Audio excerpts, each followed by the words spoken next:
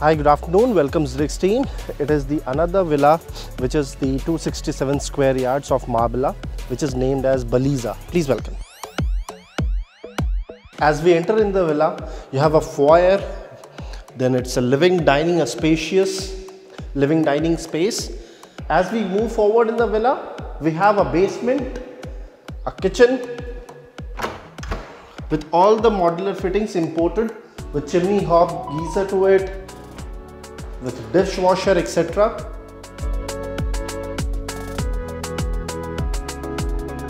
This is the first bedroom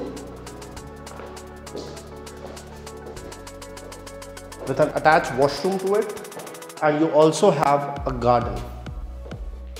I'll take you to the basement first. In this Marbella community, the basement of the every villa is the iconic part of it. You have a large basement over here which is connected to with the stairs and the lifts both. Again you have a wet point to it where you can actually construct your, in future if you want to construct some uh, area specific areas or a utility you can do it. As we move forward to the first floor of the villa,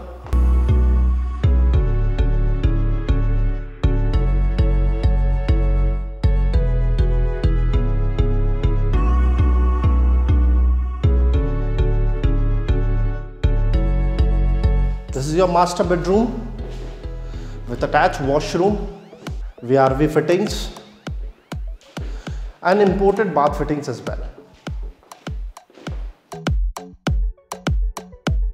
As we again move forward in the villa, the second floor, this particular space is a family lounge which is connected, well connected with the balcony area.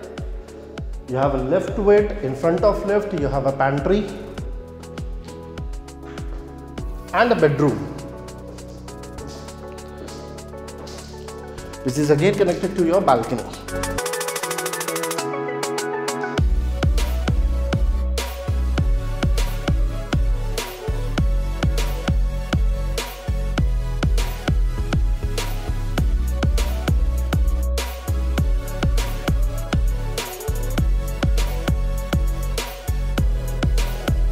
Thank you Zricks team for a kind support.